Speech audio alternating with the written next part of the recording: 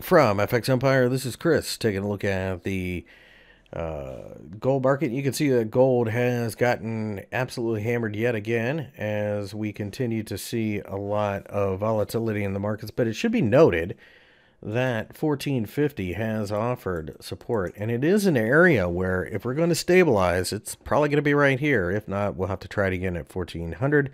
200 day EMA has been sliced through. That's a negative sign, but we are getting oversold by just about any measure. So I'm going to take this on a day by day basis, but I do think we're getting closer to a buying opportunity than uh, an opportunity to continue selling. Clearly, uh, a lot of the quote unquote easy money has already been made.